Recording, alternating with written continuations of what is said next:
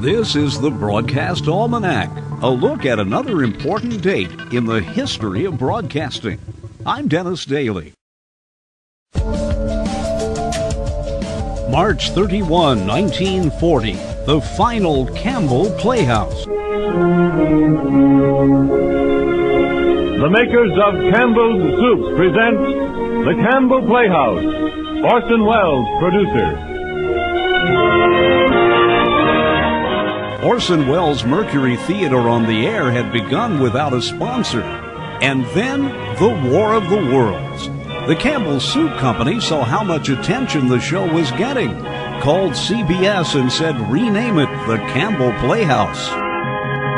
This is the Columbia Broadcasting System. Orson Welles' work on radio was some of the finest ever. The Broadcast Almanac for March 31st. I'm Dennis Daily.